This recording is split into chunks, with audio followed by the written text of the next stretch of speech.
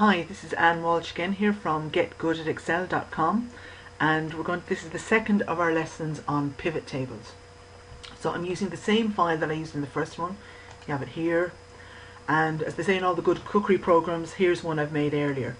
Right? And this lesson is actually going to be quite short because what I just want to show you here is a lesser known feature in pivot tables called report filter options.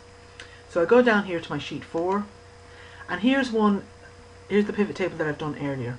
Now if you notice here, because I've clicked outside the pivot table, I can't see any of my usual pivot table options.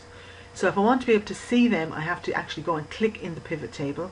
And when I do that, if you look up here, I see I, you, I now have my two new ribbons, options and design for my pivot tables. Okay.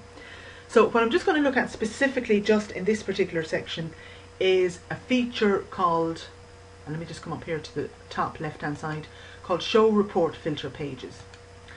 And the idea behind this is that if I go up to my classification up here, top left hand side, drop down, right, you see there I have food, services and support. Now let's say for example what I want to do is just create a pivot table for each of those sectors. I could go, I could each filter it and then save it and then move it on. But Excel actually provides me with another option that allows me to very quickly create those. So if I come up here to my top left hand side, click up here beside options. The second option down it says show report filter pages. So I just click on that and this box comes up which says show all report filter pages of classification.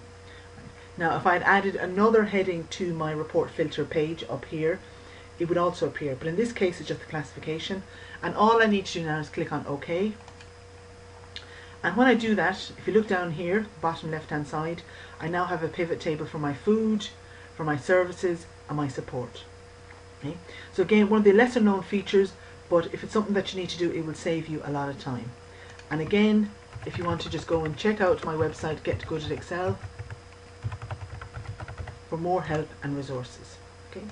Take care. Slán.